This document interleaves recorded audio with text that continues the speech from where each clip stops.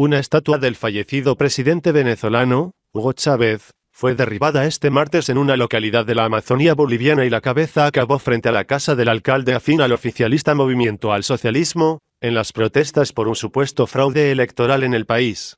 Unas 400 personas en Ribera Alta, en el departamento amazónico de Beni, derribaron de madrugada la efigie en una plaza durante las protestas por una supuesta manipulación en el conteo de votos de las elecciones del pasado domingo.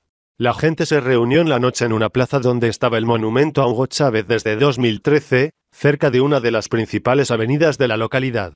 Los cientos de personas intentaron derribar la efigie de unos tres metros con sogas, pero al ver que no se movía, utilizaron distintas herramientas, como picotas en la base del monumento, contó a F el periodista local Joe Cortez.